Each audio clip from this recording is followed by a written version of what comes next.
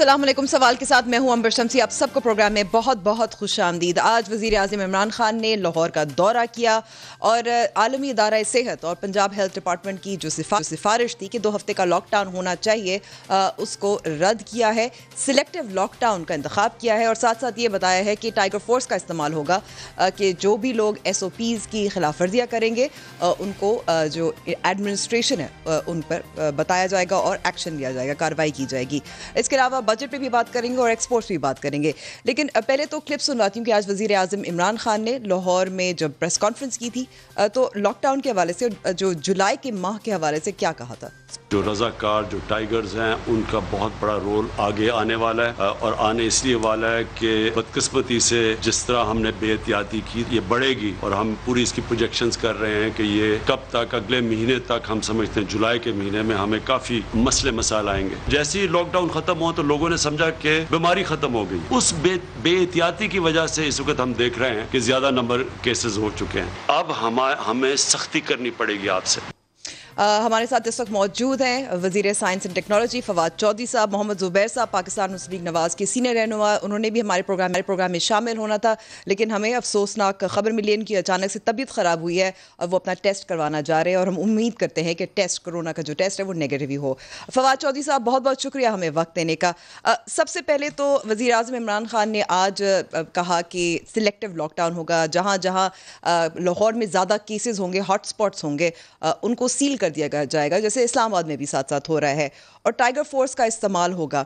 अब सवाल यहाँ पैदा होता है कि टाइगर फोर्स लाहौर में कितनी मौजूद है? जितना उस्मान डार साहब ने बताया था कि जितने लोगों ने रजिस्टर किया था, वो अभी तक उतने मुतहरक नहीं हुए। बहुत सारे लोग शिकायत करें, मुतहरक नहीं हुई है ये टाइगर फोर्स जितना होना चाहिए था। फ्रेंकली मुझे नहीं पता ये तो उस्मान डार बेहतर बता सकते हैं कितने लोग लोग मुतहरिक हैं। लेकिन बहुत लोगों ने करवाया था। लेकिन अगर पॉलिटिकल पार्टीज़ का जो सेटअप है जो लोग इलेक्शन लड़ते हैं उनका सेटअप तो खुद है so I should any problem ji sorry दोबारा से आप दोहरा सकते हैं पॉलिटिकल पार्टीज़ का जो सेटअप है मैं ये कह रहा हूँ कि कितने कितने मुतहरिक है ये तो उस्मान बता लेकिन वो तो पॉलिटिकल पार्टीज़ का। और जो जो लोग इलेक्शन लड़ते हैं उनका सेटअप तो हर जगह होता है तो कोई इतनी बड़ी प्रॉब्लम नहीं होनी चाहिए। हम्म। ठीक है एक और बात जो वजी अजम इमरान खान ने पिछली जो प्रेस ब्रीफिंग थी उसमें भी कहा था आ, उन्होंने कहा था कि जो पीक होगा जो ज़्यादा सख्त महीना होगा वो जुलाई में आएगा। आपके अंदाजे थे वो आ, जून के थे। क्या बदला है जिसकी वजह से ये जो पीक है आगे चली गई है हुकूमत के अंदाजों के मुताबिक? और आपका जो एक एक मॉडलिंग की थी आपने। मैं पीक मेरा ख्याल पीक में तो आगे नहीं जाने का मतलब पीक तो हो गई है जून में तो हम पीक में हैं ऑलरेडी अब ये पीक कितना अर्सा कंटिन्यू हम्म। करेगी ये एक अलहदा मैथमेटिक्स है अब ये देखिए ना ये प्रॉब्लम इसमें जो कोरोना में है वो ये है कि आप ये जो जिस तरह ये एक्सपेंशनली एक्सपेंशनली फैलता है आप देखिए कि ये हम्म। दो चार छः आठ से नहीं फैलता ये दो चार आठ सोलह बत्तीस इस तरह रेशो रेशो से जो है वो फैलता है। और यही वजह थी कि मैं पार्लियामेंट में भी कह रहा था कि आप ना करें क्योंकि एक दो लोग पूरी पार्लियामेंट को बीमार करेंगे। वो अनफॉर्चुनेटली जो खदशा था वही हुआ। अब ये है कि पाकिस्तान में लेट से अगर आप समझें कि जितने इस वक्त हैं लेट से एक लाख अगर आपके इस वक्त मरीज़ हैं तो इसका मतलब ये है कि अगर हम्म। आगे आप में जाएँगे तो ये तादाद बढ़ के सात लाख हो जाएगी। और सात लाख से फिर ये तादाद जो है वो फिर आप उसको अंदाज़ा लगा रहे हैं कि कितनी बड़ी तादाद हो जाएगी। So we can get into huge we are actually already peak तो हम जो है हमने हमने टच कर ली है। अब हमने देखना यह है कि ये कितना अरसा रहेगी। तो तो ये भी फिर फवाद चौधरी साहब फिर ये भी जो एक हम हम ज़ाहिर है मैं तो ले मैन हूँ ये भी समझ में आता है कि अगर पीक हम वी रीच दैट पीक इसका मतलब है कि जब लॉकडाउन क्योंकि ईज़ हो गया है लोग जो हैं वो एस ओ पीज़ की खिलाफ वर्जियाँ किए जा रहे हैं समझ नहीं पा रहे इसको संजीदगी से नहीं ले रहे। तो इसका मतलब है जो ये पीक है ये तो फिर ज़्यादा लंबा अरसा चलेगा। इसके बजाय कि एक माह चले दो तीन माह चल सकता है। बिल्कुल नहीं एक माह तो नहीं मैंने कल जो हमारे डॉक्टर इकबाल हैं जो कि एच के हेड हैं और हमारी कमेटी जो है उसमें भी वो और बड़े पाकिस्तान के उनसे मैंने पूछा था यही सवाल जो आपने मुझसे किया तो उन्होंने कहा कि आमतौर पे पीक नीचे आने में लगता है। तो हमें तकरीबन दो से तीन महीने हम्म। लगे हैं पीक पे पहुँचते हुए। हमें दो से तीन महीने लग सकते हैं पीक पे से नीचे जाते हुए जो ज़ाहिर है कि एक बड़ी वरीसम आई वुड से बात है। बिल्कुल बिल्कुल। परेशान कौन बात यह है कि अब, अब हुकूमत के पास क्या स्ट्रैटेजी है? क्योंकि ज़ाहिर है ख़ुद से तो पीक नीचे नहीं आती केसेस कम नहीं होते कोई इंटरवेंशन होती है। वज़ी अजम इमरान खान बार बार कह रहे हैं कि हम लॉकडाउन की हम मुतहमल नहीं हो सकते। तो फिर क्या हुकूमत सोच रही है कि क्या कर सकती है कि फिर जब ये हम प्लाटो करेंगे आगे पीक होगी इसको कम कैसे किया जाएगा?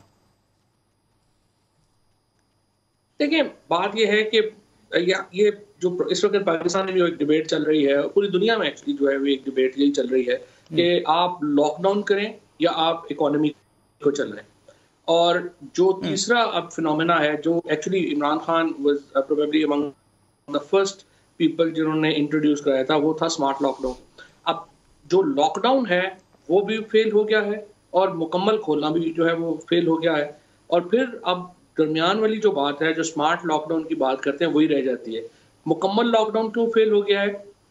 क्योंकि आप जब मुकम्मल लॉकडाउन करते हैं, एक तो पाकिस्तान जैसा मुल्क जिसकी 22 करोड़ की आबादी है, उसमें बहुत मुश्किल है ये कहना कि लोग 10-12 करोड़ लोग जो हैं उन उनके पीछे आप चोटी लेके खड़े हो जाएँ, उनको आप जुर्माने करेंगे, उनके ऊपर आप इन्फोर्समेंट इशू एक बनाएँगे उनके लिए, बहुत मुश्किल है इन्फोर्स करना। क्योंकि हम आप इस तरह से प्रोग्राम नहीं हुए हुए। इंसान जो है वो एक दूसरे से मिलने मिलाने में हमारा कारोबार है। फिर ये एक जो इकोनॉमिक एक्टिविटी है जो सैलरीड क्लास है उसको तो ठीक है उनको तो सैलरी हम्म। मिलनी है भी कर ले फ़र्क नहीं पड़ता। बट जो नॉन सैलरीड क्लास है ताजर हैं आपके आपके झाड़ीदार मजदूर हैं वो लोग हैं जिनका जो सब्सिस्टेंस इस बात के ऊपर है कि रोज़ाना उनका कारोबार हो चले और वहाँ से वो कमाई करें। जब उनके कारोबार रुक जाते हैं तो ज़ाहिर है उनके लिए ज़िंदगी ही आसान नहीं रहती। सो so, आप मुकम्मल लॉकडाउन का जो फॉर्मूला है और आपको याद है बिल्कुल उस पे उस पे तो उस पे तो अब डिबेट नहीं हो रही लेकिन लेकिन सवाल ये पैदा हो रहा है कि यही आप समझते हैं कि ये जो बीच का रास्ता है जो सिलेक्टिव आज वज़ीर अजम इमरान खान ने सिलेक्टिव का लफ्ज इस्तेमाल किया था स्मार्ट लॉकडाउन है इससे केसेस में कमी आएगी अमवात में कमी आएगी हम फिर हमारा जो ग्राफ है वो नीचे जाएगा। ये प्राइम मिनिस्टर साहब बड़े कंसिस्टेंट रहे हैं इस पे शुरू से ही। वो समझते हैं कि मुकम्मल लॉकडाउन नहीं है। और मुकम्मल लॉकडाउन के ऊपर और अब तो खैर बहरहाल इंडिया जैसा मुल्क जहाँ मुकम्मल लॉकडाउन हुआ वहाँ पे आपने देखा फ़ूड राइट्स शुरू हो गए। और बाकी जो ममालिक जहाँ पे कुछ मुकम्मल लॉक मसलन बीजिंग में मुकम्मल लॉकडाउन था लेकिन जब खुला तो अब दोबारा केसेस जो है वहाँ आने शुरू हो गए। सो ये जो मुकम्मल लॉकडाउन वाली थ्योरी है ये तो ज़ाहिर है कि नहीं चल नहीं इस पे इस पे तो इस पे तो बहस हो ही नहीं रही क्योंकि अब बहस तो उस पर अब हो ही नहीं रही कि मुकम्मल लॉकडाउन होना चाहिए नहीं होना चाहिए। क्योंकि आज वज़ीर अजम इमरान खान ने जो आलमी इदारा सेहत ने जो ख़त लिखा था पंजाब हुकूमत को जो पंजाब हेल्थ डिपार्टमेंट थी उनका उनकी तजवीज़ थी कि दो हफ़्ते का लॉकडाउन होना चाहिए उसको भी रद्द कर दिया। तो that's not even a debate any more लेकिन सवाल अब ये पैदा हो रहा है कि फिर हम जब केसेस में इजाफा हो रहा है मुश्किल हो रही है इस वक्त तो फिर इसको फिर कम कैसे किया जाएगा? व्हाट इज़ द इंटरवेंशन मैं आपको बताऊँ ना कि इसमें सबसे बड़ा प्रॉब्लम इस वक्त क्या है? इस वक्त यही प्रॉब्लम है कि लोग जो हैं वो एस के ऊपर उस तरह से अमल नहीं कर रहे हैं। अब एस के ऊपर अमल कराना मैं जिस तरह से कह रहा हूँ कि प्योरली अगर आप कहें कि इन्फोर्समेंट हो और लोग जो है वो उनकी मर्ज़ी शामिल नहीं हो बड़ा मुश्किल है। बहुत ही एक कहना आसान है इसके ऊपर अमल करना जो है वो बड़ा मुश्किल है कि आप अभी फॉर एग्जांपल आगे जो है वो इकतीस जुलाई को हमारे यहाँ बकर ईद है और जब बकर ईद होगी तो यहाँ पे मंडियाँ लगेंगी।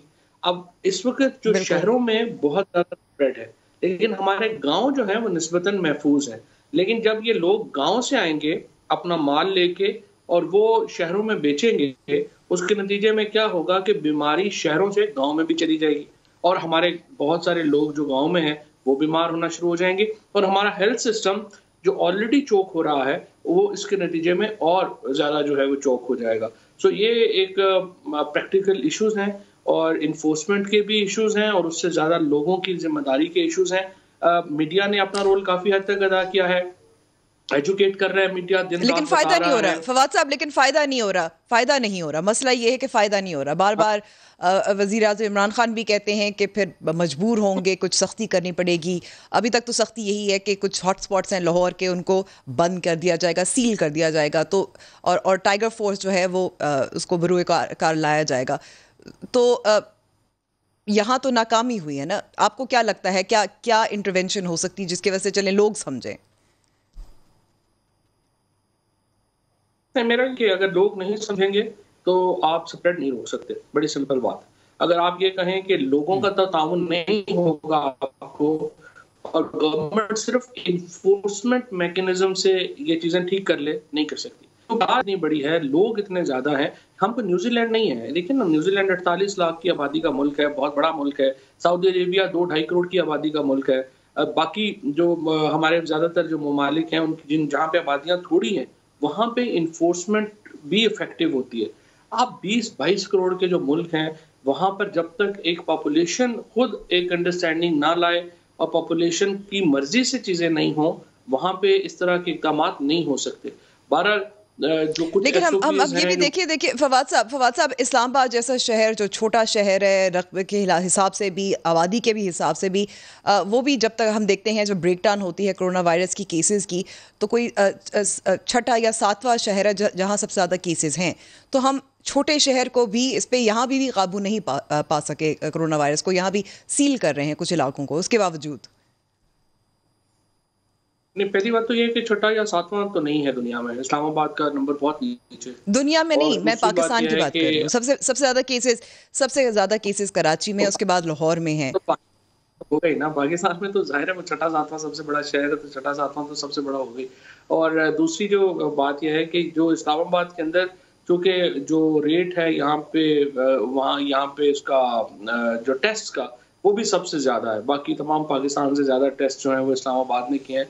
तो इस्लामाबाद में इसलिए आपको रेट ज़्यादा नज़र आ रहा है, लेकिन इसके बावजूद इस्लामाबाद का भी अभी जो जो उसका यहाँ का जो हेल्थ सिस्टम है, वो उस तरह से चोक नहीं हुआ जिस तरह से कराची या लाहौर का सिस्टम जो है वो चोक हो गया। तो छोटी आबादी और फिर यहाँ पे ऑब्वियसली लोग ज़रा थोड़े पढ़े लिखे भी हैं। सो यहाँ पे वायलेशन हो तो रही हैं, लेकिन इनका मुकाबला उस तरह से कराची से या लाहौर से या आप फैसलाबाद से, इस तरह के बड़े शहरों से, जो है वो इसका नहीं आप कर सकते। ठीक है मैं आपको एक और क्लिप सुनवाती हूँ। उस्मान डार साहब ने भी आज बात की थी टाइगर फोर्स के हवाले से। उस पर सवाल, पहले क्लिप सुनिए। अभी तक सवा दो लाख टाइगर फोर्स जो है वो अपनी जिम्मेदारियाँ अदा कर चुकी है। ऑलरेडी टाइगर फोर्स का एक कामयाब तजर्बा एस ओ पीज की इम्प्लीमेंटेशन में हम मसाजिद में कर चुके हैं। पाकिस्तान वो वाहिद इस्लामी मुल्क था जिसने मसाजिद बंद नहीं की। रमज़ान में कोई कोरोना मसाजिद से नहीं फैला था और उसमें हमारी एडमिनिस्ट्रेशन के साथ मिलकर माए रमज़ान में बड़ा ज़बरदस्त एस ओ पीज पे टाइगर फोर्स ने काम किया। तो फवाद चौधरी साहब, कोई डे, कोई डेटा मौजूद है जिससे ज़ाहिर होता है कि मसाजिद के ज़रिए मार्केट्स तो हैं, वो तो हमें पता है। मसाजिद के ज़रिए ज़्यादा फैलाव नहीं हुआ, क्योंकि हमने देखा कि ज़ायरीन का भी अलग डेटा है, तबलीगी जमात का भी अलग डेटा है, वो भी हुकूमत पोस्ट करती है अपनी वेबसाइट पर भी। तो इस हवाले से कोई डेटा मौजूद है? नहीं फ्रेंकली मुझे पता नहीं है, अगर कोई डेटा है तो ये एनसीओसी से आप या एनडीएमए से चेक करेंगे तो आपको बता पाएँगे। ठीक है, क्योंकि it's not posted on the website ना एन के ज़रिए आता है, इसलिए मैं जानना चाह रही थी क्योंकि बहुत वसूख से कह रहे थे उस्मान डार साहब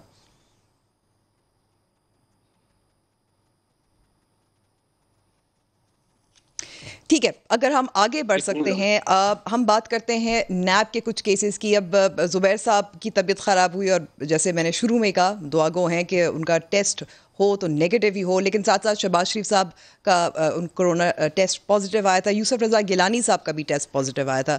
और दोनों पार्टीज़ के ये जो एक एक मिनट रुकेगा ये जो कोविड के ऊपर जो है वो ज़ाहिर है कि हम जो खबरें हैं ओवरऑल वो तो बुरी ही खबरें जो है वो ज़्यादातर आती है। लेकिन हम्म। उसमें जो कुछ हम्म। दूसरी साइड है वो भी ये है कि पाकिस्तान में जो रिकवरी रेट है वो दुनिया में वन ऑफ़ द बत्तीस फ़ीसद है। सो यहाँ बत्तीस यहाँ पे लोग जितने जो दुनिया में वन ऑफ़ द हाईएस्ट है। बत्तीस फ़ीसद नहीं है यहाँ पे बहुत लोग जो टेस्ट हुए हैं उनमें बहुत जो परसों तक तो कल परसों तक तो बत्तीस फ़ीसद था। नहीं नहीं कोई बत्तीस फ़ीसद तो हो ही नहीं सकता ना। बत्तीस फ़ीसद का मतलब यह है आप कह रही हैं कि जो सौ लोग हुए हैं उनमें से सिर्फ़ बत्तीस जो है वो बचे हैं बाकी सारे जो है वो क्रिटिकल हो गए हैं। ये तो नहीं है ना। यहाँ पे 94 परसेंट लोग जिनका कोविड टेस्ट आया है वो एक्चुअली सही हुए हैं और 6 परसेंट लोग जो हैं उनमें से भी 1 परसेंट लोग जो हैं वो क्रिटिकल हुए हैं। सो so, पाकिस्तान में जो इस वक्त तक जो इम्यूनिटी का स्टैंडर्ड है या वो है एक तो वो बहुत अच्छा है। दूसरी बात यह है कि जो पाकिस्तान में इनोवेशन के अतबार से या जो कोविड के रिलेटेड जो चीज़ें थी वो पाकिस्तान के अंदर जो जो मैन्युफैक्चरिंग हुई है उसकी वो एक बहुत ज़बरदस्त काम हुआ है। पहले ही हमारे चंद हम्म। हफ्तों में जो है वो हम 100 मिलियन डॉलर की एक्सपोर्ट के ऊपर पहुँच गए हैं और हमें उम्मीद यह है कि अगले इंशाल्लाह छह से आठ महीनों में जी। और और कल कल आपने भी एक अच्छी खबर ये दी थी आपने भी अच्छी खबर ये दी थी कि जो टेस्ट है जो टेस्ट है वो नस्ट यूनिवर्सिटी ने जो एक कमर्शियल टेस्ट किया था वो अप्रूव हो गया मंजूर हो गया है। ड्रग रेगुलेशन जो अथॉरिटी है उसके उसने अप्रूव कर दिया है। वो कमर्शियल यूज़ के लिए इस्तेमाल हो सकेगा। जी ड्राफ्ट ने अप्रूवल दे दी है। ये जो था और तीन महीने पहले सबमिट हुआ था तकरीबन दो महीने पहले सबमिट हुआ था ड्राफ्ट को। उसके बाद इसके टेस्ट किए गए और इसकी 90 परसेंट से ज़्यादा जो है वो एक्यूरेसी है जो एग्जिस्टिंग अभी तक हमारे जो किट्स हैं उन जो पीसीआर बेस्ड। उनकी जो एक्यूरेसी है वो 75 से 80 परसेंट है और इसकी एक्यूरेसी जो है वो 90 परसेंट आई है जो हमारा अपना टिकट होगी। और इसके नतीजे में जो पाकिस्तान के अंदर एक तो जो टेस्ट कॉस्ट है वो वन थर्ड रह जाएगी जितनी अभी कॉस्ट है उसके। तो इंशाल्लाह इन टेन डेज़ टाइम और और आप क्या समझते हैं? उम्मीद क्या करते हैं? क्या क्या प्रोजेक्शन है? क्या अंदाज़ा है कि इसकी प्रोडक्शन कितनी होगी? इसकी प्रोडक्शन अभी जो है वो हम कर रहे हैं कि फ़िलहाल जो है वो काफ़ी कंपनीज़ जो है जो उनको हम इन्वॉल्व करें ताकि ज़्यादा से ज़्यादा प्रोडक्शन जो है वो हम इसकी कर सकें। और प्राइवेट लेबॉर्ट्रीज जो है उनको भी हम इसको इनको जो है वो शेयर दे सकें। फ़िलहाल एनआईएच जो है उसको ये हम देना हम्म। शुरू कर देंगे अगले दस आठ दस दिनों में। और उसके बाद इसको जो है वो फिर प्राइवेट जो लैब्स हैं उनको भी देना शुरू कर देंगे। ठीक है, एक ये भी तनकीद होती है क्योंकि डॉक्टर्स भी बहुत तनकीद करते रहे थे कि उनको पी पी ईज़ वाफिर मकदार में फ़राहम नहीं की जा रही थी। उसका कुछ हद तक अब मामला आहिस्ता आहिस्ता हल हो रहा है, लेकिन अभी भी शिकायत शिकायत सामने आ रही है। दूसरी जो थी शिकायत थी, वो पंजाब पुलिस के हवाले से थी कि उनको भी बड़ी तादाद में उनको भी कोरोना पॉजिटिव हो रहे हैं और उनको भी पीपीईज नहीं फराम की जा रही। ख़ास तौर पे वो जो अपनी ड्यूटीज़ सर अंजाम दे रहे हैं, कोरोना वार्ड्स के बाहर क्वारंटीन सेंटर्स के बाहर। देखिए, पाकिस्तान में मैन्युफैक्चरिंग में तो कोई प्रॉब्लम नहीं है, क्योंकि पाकिस्तान तो अब इतने ज़्यादा इस वक्त पीपीज पाकिस्तान के अंदर बन रही हैं कि पाकिस्तान के अंदर तो उस अपनी ज़रूरत से बहुत ज़्यादा बन रही है, इसीलिए तो एक्सपोर्ट जो है वो कर रहे हैं।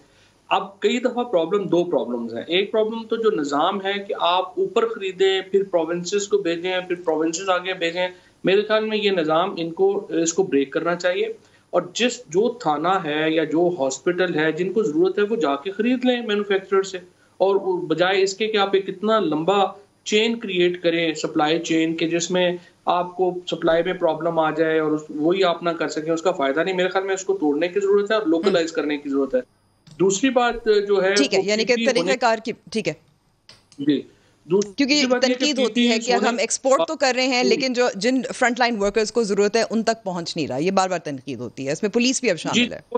उसके लिए मैं ये कह रहा हूँ कि जो सप्लाई चेन है उसको ब्रेक करने की ज़रूरत है। वो मुकामी तौर के ऊपर लोग खुद खरीदने जाके क्योंकि ये तो हर जगह बन रही है। कराची है लाहौर है फैसलाबाद है सियालकोट है।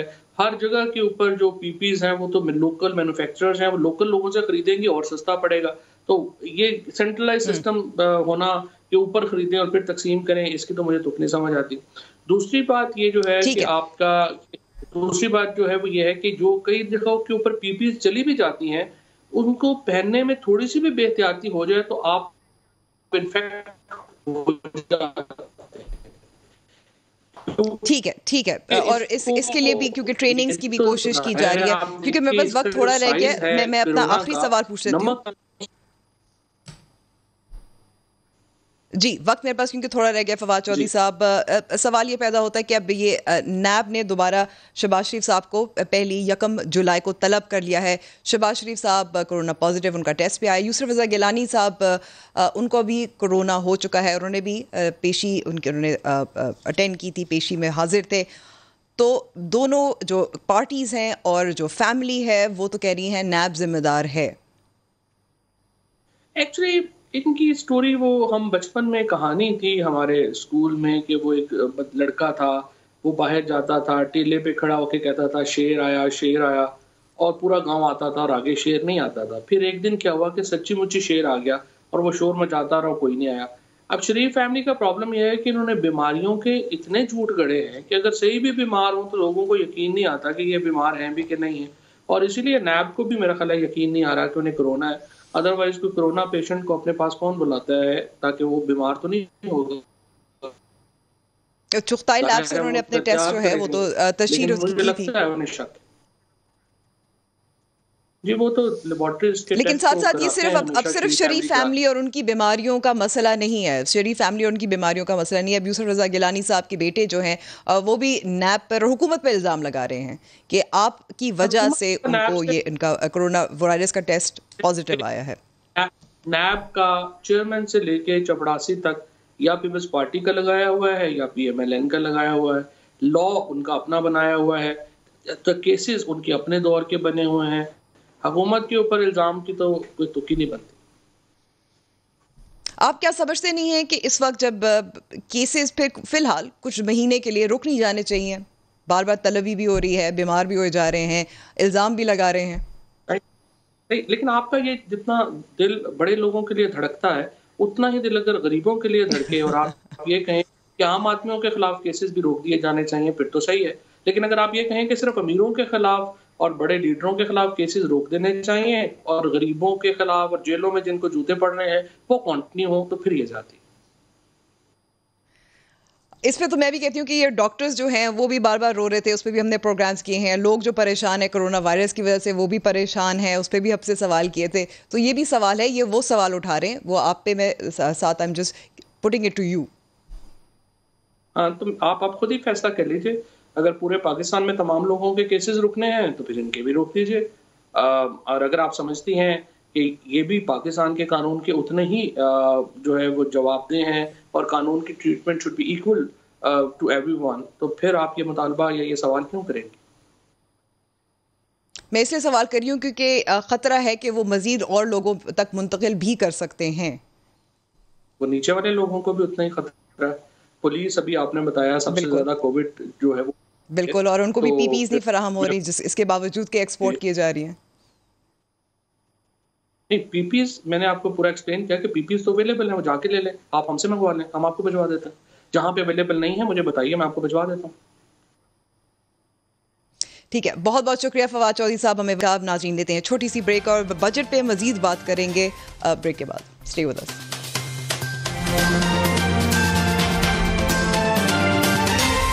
प्रोग्राम में एक बार फिर खुश आमदीद। अब कुछ बात करते हैं बजट की। मुशीर ख़जाना हफीज़ शेख साहब ने आज प्रेस कॉन्फ्रेंस की थी। उन्होंने एक बात कही थी जो गैर यकीनी की सूरत हाल के हवाले से। यही कहा था कि इस इस बजट में लोगों को रिलीफ दी गई है, कोशिश की गई है कि मुश्किल हालात में बेहतर से बेहतर बजट हो। लेकिन दूसरी जानब माहरीन भी तनकीद कर रहे हैं। क्या तनकीद कर रहे हैं वो भी बात करेंगे। लेकिन पहले हफीज़ शेख साहब का क्लिप सुनवाती हूँ, जिसमें वो बता रहे हैं कि रेवेन्यू का टारगेट जिससे बहुत तनकीद हो रही है कि ये बहुत, ये हकीकत से दूर है, उस पर उन्होंने क्या कहा? सुनिए।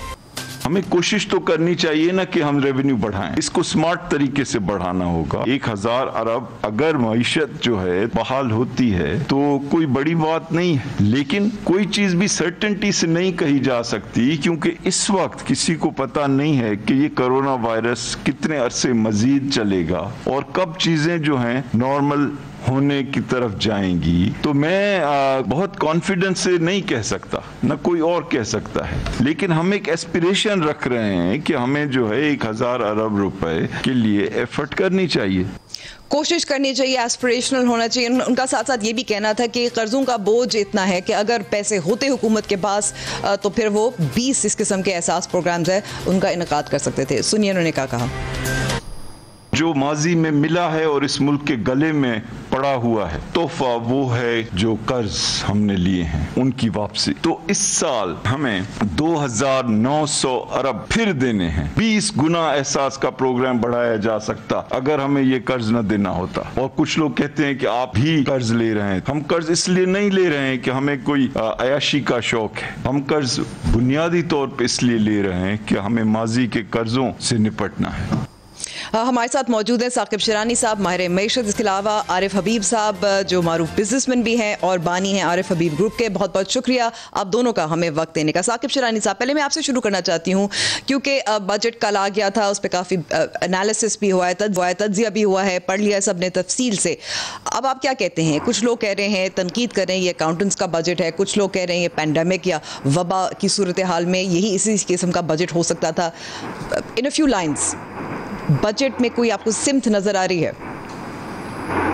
नहीं अनफॉर्चुनेटली मेरा ख्याल है ये यही इसकी बुनियादी जो वीकनेस है या कमज़ोरी है बजट की। देखिए प्रेशर्स तो बहुत थे। ऑब्वियसली हम सबको मालूम है कि मीशत के क्या हालात हैं और पैंडेमिक की वजह से कितना हमारी इकॉनमी के ऊपर और सोसाइटी के ऊपर कितना बोझ है। मगर एक बुनियादी जो इसका बजट का एक ऑब्जेक्टिव होना चाहिए था इन हालात में वो ये होना चाहिए था हम्म। कि बिजनेसेस को अफ्लोट रखना और जॉब्स को रिटेन रखना। ये एक बुनियादी फंडामेंटल आई मीन बाकी ऑब्वियसली और, और बहुत सारे ऑब्जेक्टिव थे जो फाइनेंस मिनिस्टर साहब जिनसे ग्रैपल कर रहे हैं। फॉर एग्जांपल उन्होंने डेट सर्विसिंग की बात की डेट का बोझ है वो बिल्कुल हम्म। दुरुस्त बात है। उन्होंने फ़िज़िकल कंसोलिडेशन का भी एक पहलू मद्देनजर रखना था वो भी बात दुरुस्त है। आईएमएफ से ज़्यादा दूरी या ज़्यादा फासला नहीं हम रख सकते थे वो भी उनकी बात दुरुस्त है।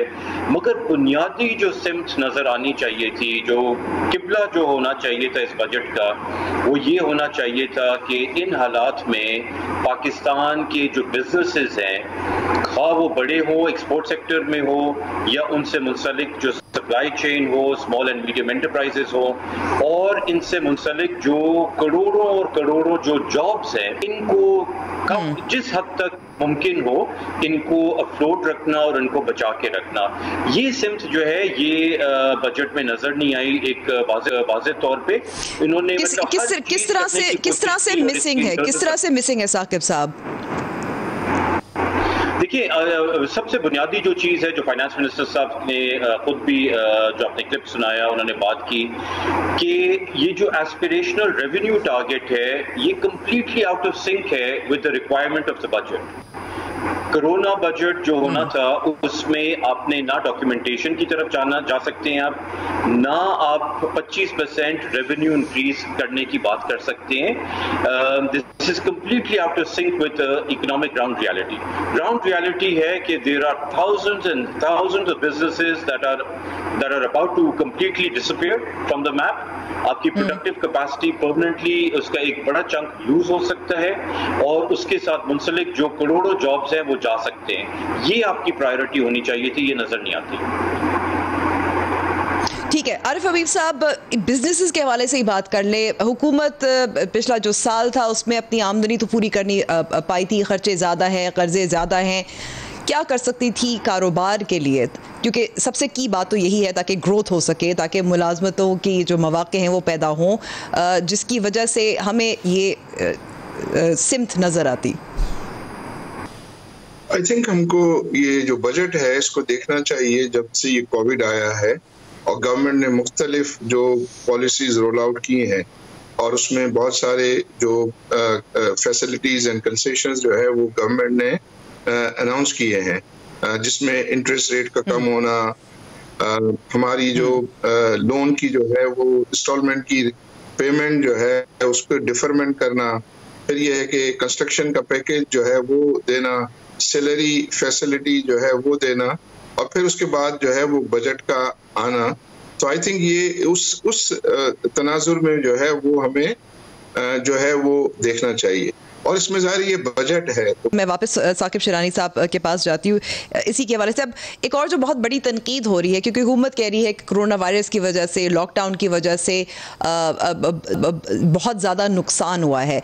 क्या ये जायज़ जो तनकीद है, ये कहना कि इससे पहले हालात बहुत ख़राब थे, कोरोना वायरस को तो तीन माह हुए हैं आई थिंक ये बात दुरुस्त है। मैं खुद सरप्राइज़ हूँ बाकी एक इंडिपेंडेंट इकोनॉमिस्ट की तरह कि मार्च के वस्त से बेसिकली ये सारा इशू स्टार्ट हुआ है और हम लॉकडाउन की तरफ़ गए हैं और इकोनॉमी जो है उसके ऊपर कोरोना का जो बोझ है वो नज़र आता है वाज तौर पे। तो ये बेसिकली ढाई तीन ढाई तीन साढ़े तीन महीने का जो है इम्पैक्ट होना चाहिए था। और जब हम एक्सपेक्ट कर रहे थे, उससे पहले मार्च के शुरू तक कि ग्रोथ तकरीबन तीन परसेंट होगी तो ये तीन महीने का इम्पैक्ट जो है वो हमें तीन परसेंट से माइनस पॉइंट फोर परसेंट पे ले गया ये थोड़ा मंतक से थोड़ा सा अलग बात लगती है मेरा ख्याल है ऑब्वियसली अच्छा। गवर्नमेंट जो है वो जब तीन परसेंट की बात कर रही थी they were being overly optimistic and they were not taking to account कि फ़िज़िकल कंसोलिडेशन का जो प्रेशर था इकोनॉमी के ऊपर उसको उन्होंने वाजे तौर के हम्म। ऊपर अकाउंट फॉर नहीं किया था क्योंकि एक और जो इस वक्त एक तरह से अब तो मुम्मा ही बन गया मिस्ट्री सी बन गई है कि जो एक कैलकुलेशन की गई थी, खुद हुकूमत की जानब से कि ग्रोथ रेट इतनी होगी, तीन फ़ीसद से ज़्यादा थी, और फिर ब्यूरो ऑफ़ स्टेटिस्टिक्स ने दो फ़ीसद से कम बताई। इतना ज़्यादा फ़र्क, हफीज़ शेख साहब ने भी खुद कहा था कि इतना ज़्यादा फ़र्क नहीं होना चाहिए। मसला डेटा कलेक्शन में है या डेटा एनालिसिस में है। इस पर आपकी राय? देखिए जो बुनियादी तौर पे एक रिवीजन हुई पिछले सालों की और हर साल ऑब्वियसली हम ये जो नेशनल अकाउंट्स का डेटा है इसका तीन साल का साइकिल होता है पहला जो नंबर आता है हम्म। साल का वो नौ महीने के डेटा पे बेस्ड होता है और ये ये प्रोविजनल एक्चुअल होता है और फिर अगले हम्म। साल हम इसको बेहतर डेटा बारह महीने का डेटा लेके इसको रिवाइज करते हैं और फिर उससे अगले साल यही जो नंबर है दो साल पुराना ये फाइनलाइज होता है हम्म। तो इस मरतबा जो रिवीजन है तो रिवीजन हर साल होती है आ, मगर इस मरतबा रिवीजन जो हुई है डेटा में वो काफ़ी सिग्निफिकेंट है और काफ़ी बड़ी है हम्म। ये मेरा ख्याल है इसमें आ, सोचने की बात है कि इतनी बड़ी रिविजन की क्या ज़रूरत थी ठीक है आरिफ हबीब साहब भी हमारे साथ दोबारा से मौजूद हैं। आरिफ हबीब साहब हम बात कर रहे थे किस किस्म के कुछ तो इंसेंटिव्स दिए हैं। कैपिटल गेंस टैक्स जो है उसको अदा कर दिया है। टैक्स और टैक्सेस और ड्यूटीज़ की मद में 40 से 50 अरब मेरे ख्याल में आ, कमी की गई है। फ़ायदा होगा जिससे मुलाजमतें भी पैदा होंगी। हफीज़ शेख साहब का कहना है। तो ये काफ़ी है आपकी नज़र में? आई uh, थिंक uh, मेरी नज़र में ये काफ़ी है जहाँ तक के uh, हम्म। जो बजटरी मेजर्स हैं बट जो क्रिटिकल चीज़ है मेरी नज़र में आगे हमारी इकोनॉमिक परफॉर्मेंस के लिए वो ये है कि ये कोविड 19 जो है वो किस तरह आगे चलता है और ये हमारा अगर खुदा न खास्ता कोई फर्दर जो है स्ट्रिक्ट लॉकडाउन की कोई सूरत पैदा ना हो और ये जिस तरीके से जो है वो अभी ये चल रहा है कि काम भी चल रहा हो और आपको जो है वो कोविड के मेजर्स भी एस भी जो है वो फॉलो करने हैं। और अगर ये काम साथ साथ चलता रहा तो तो आई बिलीव की चीज़ें जो हैं आई थिंक रिकवर हो जाएँगी। लेकिन अगर खुदा न खास्ता जो है ये कोविड की वजह से कोई स्ट्रिक्ट लॉकडाउन की सूरत आती है तो फिर आई थिंक हमारे लिए बहुत ज़्यादा चैलेंज हो जाएँगे। ठीक है, क्योंकि इतना तो हमें मालूम है आरफ साहब के इस वक्त वज़ीर अजम साहब का जो मौक़ है, वो कंसिस्टेंट भी रहा है। तसलसल के साथ वो कह रहे हैं कि लॉकडाउन नहीं करेंगे। आज भी उन्होंने जो आलमी इदारा सेहत है, उसकी जो लाहौर के लिए सिफारिश थी, पंजाब के लिए सिफारिश थी, उसको रद्द कर दिया था। तो सिलेक्टिव लॉकडाउन फ़िलहाल ही है। लेकिन साकिब शरानी साहब मैं आपकी तरफ़ आती हूँ। ये भी हमें मालूम है कि बार बार अभी फवाद चौधरी साहब भी हमारे साथ मौजूद थे। कई किस्म की जो प्रोजेक्शंस हो रही है, उनका यही कहना है कि केसेस में इजाफा होगा और हो रहा है और ज़्यादा, लंबे अरसे के लिए होगा सिलेक्टिव लॉकडाउन के साथ। तो इस पर मीशत पे क्या असर होगा? जो प्रोजेक्शन है, जो गैर यकीनी की सूरत हाल है, जिसकी तरफ़ इशारा दिया था हफीज़ शेख साहब ने उस पर क्या, किस तरह से ये, इनका ताल्लुक है? देखिए ये अंबर ऑब्वियसली अभी हम में से कोई भी नहीं कह सकता ना हुकूमत ने ना हुकूमत के बाहर कि ये इसकी कोविड 19 की ट्रजेक्ट्री क्या होगी ड्यूरेशन क्या होगा इसका इसकी सेकंड वेव कब आएगी? Because hmm. लाजमी है कि अनफॉर्चुनेटली फ़र्स्ट वेव ही इतनी लंबी अभी, अभी तो हम पहली वेव से ही निमट रहे हैं। अभी तो हम साकिब साहब अभी तो पहली वेव ही चल रही है पहली लहर जो है वो ही चल रही है। बिल्कुल वो इसलिए चल रही है क्योंकि हुकूमत तो इसके बारे में कुछ कर नहीं रही है। तो ये चलती रहेगी फिर इसके बाद अनफॉर्चुनेटली दूसरी लहर आएगी। तो ये ऑब्वियसली अब कहना तो बहुत मुश्किल है at this stage but what this shows is कि ये सारे जो नंबर्स हैं जैसे हफीज शेख साहब ने खुद कहा खास तौर पे बजट के हवाले से बहुत अनसर्टनटी है एंड उस उस कॉन्टेक्स्ट में I would think the budget is almost meaningless जो उन्होंने कल बजट जो पेश पेश किया है इट्स ऑलमोस्ट इरेलीवेंट क्योंकि what I think he should have done is कि एक रोलिंग बजट पेश करते तीन महीने का और hmm. तीन महीने से जो है सिचुएशन असेस करके हम uh, उसको अगले तीन महीने के लिए एक और बजट uh, पेश करते।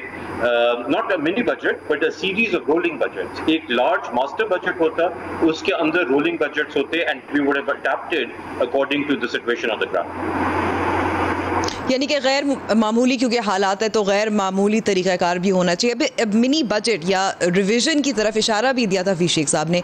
मैं क्लिप सुनवाती हूँ। और budget at the same time अगर खुदा न खास्ता कोई करोना वायरस या इसमें कोई ऐसी शिद्दत आती है या कोई इतनी बड़ी चीज़ हो जाती है तो ये कोई अल्लाह अल्लाह की तरफ़ से तो नाजिल की हुई चीज़ नहीं है ना? तो इसमें एडजस्टमेंट्स हो सकती हैं। ये आपको उन्नीसवीं सदी तो नहीं है कि साल में एक दफ़ा ही कागज़ पे कोई चीज़ लिखी जाती। This is round the clock management Arif Habib साहब, पिछले साल भी बार भी बार बार कहा जा रहा था, लोग कह रहे थे कि शायद दोबारा से मिनी बजट आए, लेकिन इस दफ़ा तो हफीज शेख साहब ने एतराफ़ किया इशारा दिया कि हो सकता है। जी उन्होंने कहा लेकिन अंबर ये देखें कि लास्ट ईयर हमारा जो हमने बजट किया था एफ़ पी आर रेवेन्यू वो पाँच हज़ार पाँच सौ बिलियन किया था। उसकी जगह अब हम three thousand nine hundred billion जो है का एस्टिमेट कर रहे हैं। तो, तो यानी कि साकिब शरानी साहब जो आप बात कर रहे हैं तीन महीने का था। हफीज शेख साहब ने कह दिया है कि हो सकता है काफ़ी मुमकिन है बल्कि आई थिंक रियलिस्टिक बात है। He is he is he is being realistic एतराफ कर दिया। और वो एक्सेप्ट हाँ इतराफ़ कर रहे हैं और एक्सेप्ट कर रहे हैं कि हालात जैसे तब्दील होंगे उसके हवाले से होपफुली वो अडेप्ट करेंगे अपनी एक्सपेक्टेशंस और अपनी एस्पिरेशनल जो रेवेन्यू टारगेट है उनका। ठीक है अब अगला मैं सवाल जो पूछना चाह रही थी मैं आरिफ हबीब आपसे पूछना चाह रही थी। आप समझते हैं आपको नज़र आ रहा है कि एक्सपोर्ट्स बढ़ सकते हैं इस सूरत हाल में क्योंकि ये याद रखने की भी ज़रूरत है कि मुल्क भर में रिसेशन दुनिया भर में रिसेशन है सिर्फ़ पाकिस्तान में मुश्किल हालात नहीं है। कौन ख़रीदेगा कौन ख़रीद रहा है? आई थिंक ये बहुत ज़्यादा चैलेंजिंग है। मुझे लग रहा है कि ये एक्सपोर्ट साइड हम्म। पे जो है वो ज़्यादा चैलेंज नज़र आ रहा है। और इसीलिए आपने देखा कि उनका नंबर भी जो है, उन्होंने जो इस साल का जो बजट रखा है, वो सब्सटेंशियली कम कर दिया। तो दोनों साइड पे आई थिंक रेमिटेंस साइड पे भी और एक्सपोर्ट साइड पे ज़्यादा जो है वो चैलेंजेस होंगे। लेकिन साथ साथ फिर हमारे इम्पोर्ट्स भी जो है वो उसमें कमी की जो है, वो तो है। तो वहाँ उस लिहाज से हमारा जो ट्रेड डेफिसिट है वो ट्रेड डेफिसिट तो जो है जो इस साल कम हुआ है आई थिंक वही नंबर्स आगे जो है वो चलेंगे लेकिन अगेन वो डिपेंड करता है जैसा कि ये बात हो रही है कि आगे कोविड जो है वो किस तरह चलता है फिर दूसरी इकोनॉमीज जो है वो उनका उनके यहाँ ये लॉकडाउन पॉलिसी क्या जो है वो रहती है और दोबारा से जो है वो एक्टिविटी हम्म। जो है वो शुरू होना इसके ऊपर सारा मैं समझता हूँ कि हमारा एक्सपोर्ट की परफॉर्मेंस डिपेंड करती है। ठीक है, बहुत बहुत शुक्रिया आरिफ हबीब साहब, साकिब शराब अब लेते हैं छोटी सी ब्रेक ब्रेक के बाद मजीद हम एक्सपोर्ट पे ही बात करेंगे मुशीर तजारत से।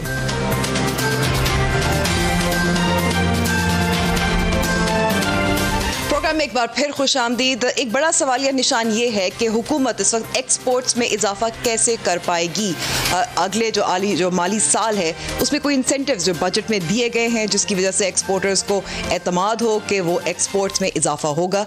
इस पर बात करने के लिए और दीगर मामला पर बात करने के लिए हमारे साथ मौजूद है वज़ी अजम के मुआवन खसूसी बरए सरमाकारी और तजारत रजा, अब्दुल रजाक दाऊद साहब। बहुत बहुत शुक्रिया रजाक दाऊद साहब हमें वक्त देने का।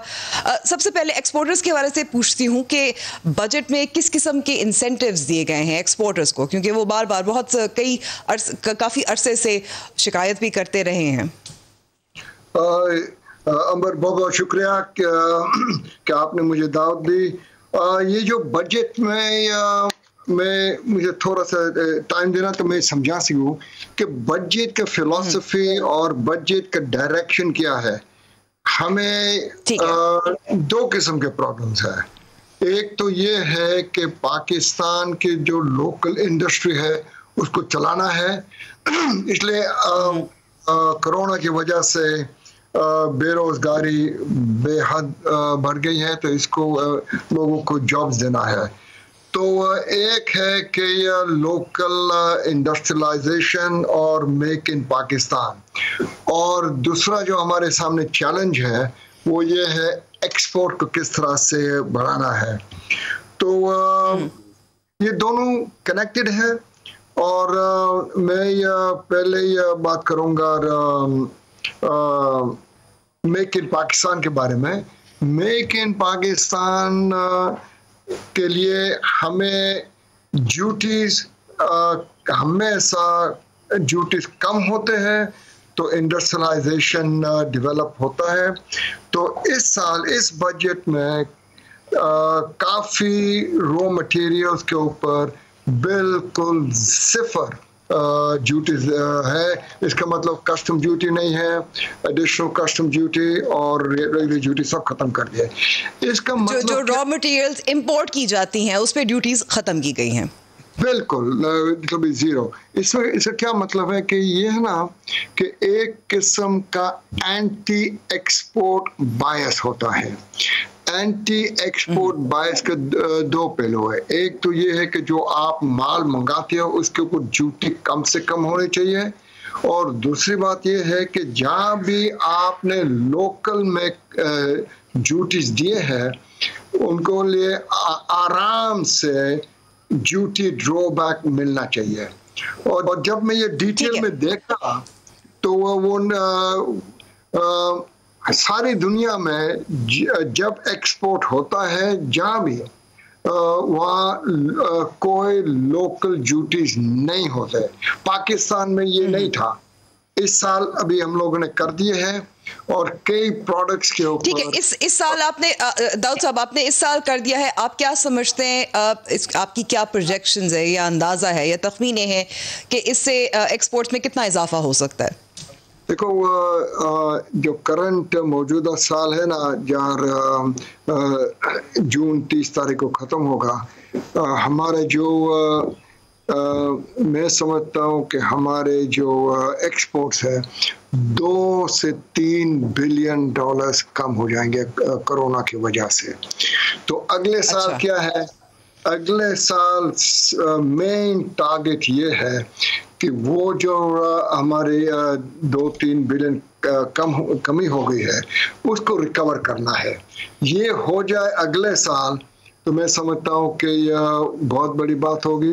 इसलिए आपको पता है कि जब ऑर्डर चले जाते हैं तो उसको आना भी टाइम लगता है। तो मैं हम्म। समझता हूँ तीन महीने छः महीने लगेंगे। तो वो पिछले साल का आ, 2019-20 का जो टारगेट है वो हमने रखे बीस इक्कीस के लिए। वो भी मैं समझता हूँ बहुत बड़ी बात होगी। और अच्छा। इंशाल्लाह ये ये करना पड़ेगा मैं। और एक और चीज़ है जो दाऊद साहब दाऊद साहब एक और यहाँ इजाफी सवाल है क्योंकि कोरोना वायरस की वजह से ज़ाहिर है मीशत को भी नुकसान पहुँचा है एक्सपोर्ट्स को भी धचका लगा है। लेकिन अगर हम कोरोना वायरस से पहले की बात करें अगर हम 2019 से लेकर फरवरी 2020 की बात करें अब रुपए की कदर है उसमें तकरीबन सैंतीस फ़ीसद उसकी कदर में कमी आई थी लेकिन एक्सपोर्ट्स में इजाफा जो था वो तीन आशार्य बासठ फ़ीसद ही था। हालाँकि यही कहा जाता है कि अगर वैल्यू कम हो रुपी की तो फिर एक्सपोर्ट्स में इजाफा होना चाहिए। तो ये क्या वजह थी कि एक्सपोर्ट्स में जितनी वैल्यू की कमी हुई थी उसके मुताबिक एक्सपोर्ट्स में इजाफा नहीं हुआ था। आ, नहीं अंबर ये बहुत अच्छा सवाल है और मैं आपको बता दूँ कि हमारे जो एक्सपोर्ट है ना आ, हम्म। बिल्कुल ठीक जा रहा था। और फेब्रुवरी का मेरे सामने रिजल्ट्स है। फेब्रुवरी में फेब्रुवरी का महीना में हमारा इजाफा हुआ था चौदह फ़ीसद इन वैल्यू टर्म्स तो इसका मतलब ये हुआ कि ये हमारे जो प्रोजेक्ट थी वो बिल्कुल सही थी।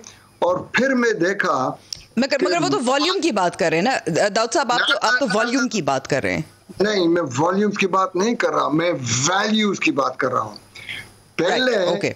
पहले मैं वॉल्यूम्स की बात कर रहा था वैल्यू में कम था वॉल्यूम में ज़्यादा था अभी फेब्रुवरी में वैल्यू में ज़्यादा था वॉल्यूम में भी ज़्यादा था तो और और फिर मैं फर्दर एनालिसिस की तो तकरीबन फोर्टीन ऑफ़ मार्च तक इसी तरह से 14 फ़ीसद ट्रेंड चल रहा था फिर जब कोरोना हिट किया हमें तो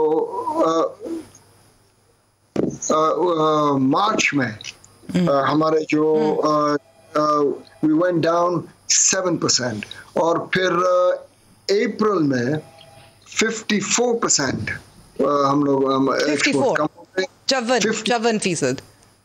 फिफ्टी फोर पचपन तकरीबन पचपन फ़ीसद कम हो गया। हमारे एक्सपोर्ट पिछले साल के मुकाबले में। और फिर जब हमें आगे जाए तो मई में मई में इतना कम नहीं था। फिर वो कम हो गया सिर्फ़ पैंतीस फ़ीसद। और मुझे लगता है इन जून में जिस महीने में हम लोग अभी है इसमें होगा बीस पच्चीस। तो इसका मतलब हमारा डायरेक्शन है ना फिर सही हो गया है। तो आ, मैं उम्मीद रखता हूँ कि अगले साल ट्वेंटी ट्वेंटी वन में आ, हमारे एक्सपोर्ट के जो पिछले साल की जो जो हमारा लॉस हुआ वो हम लोग रिकवर करेंगे। इस वक्त जहाँ बिजनेसमैन ने मुझे बता रहे हैं कि एक्सपोर्ट ऑर्डर्स आ रहे हैं।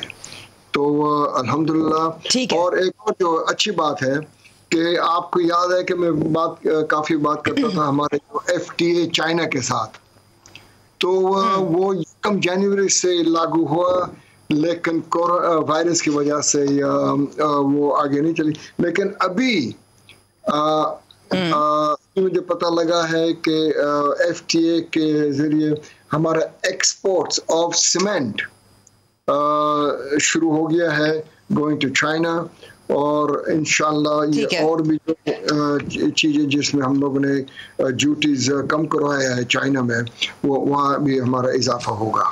बहुत बहुत शुक्रिया हमें वक्त देने का मुशीर तजारत अब्दुल रजाक दाऊद साहब। अब प्रोग्राम का वक्त यहाँ ख़त्म होता है। ज़रूर हमें फीडबैक दीजिएगा हमारे फेसबुक पेज और ट्विटर हैंडल पे। अब होगी कल मुलाकात। खुदाफिज।